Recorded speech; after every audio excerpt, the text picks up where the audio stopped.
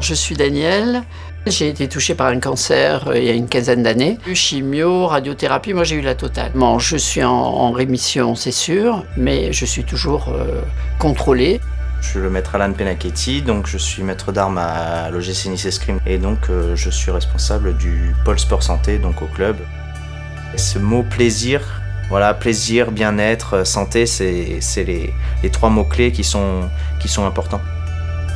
C'est vrai, on, le voit on ne sait pas ce que c'est en définitive. Hein. On voit des matchs euh, à, la télé, des joutes à la télé, mais bon, on ne se rend pas compte. Et ça donne énormément d'équilibre. Énormément d'équilibre. Et tout le monde le dit d'ailleurs, d'adresse et euh, une maîtrise de soi. C'est un tout en fait, hein, c'est un tout.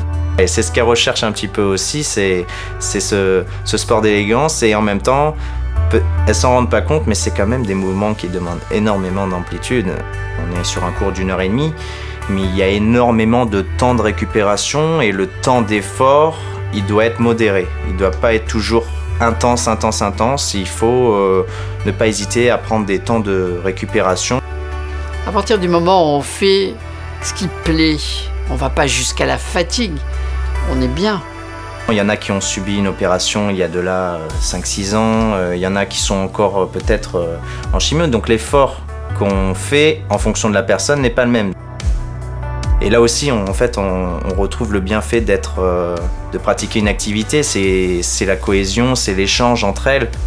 Grâce à cette arme, elles sont capables de se protéger et en plus de riposter. Ah, j'ai toujours fait de la gym, mais maintenant, intensivement comme maintenant, non. Et je regrette maintenant de ne pas avoir fait, en fait autant quand j'étais plus jeune, parce que c'est vraiment excellent.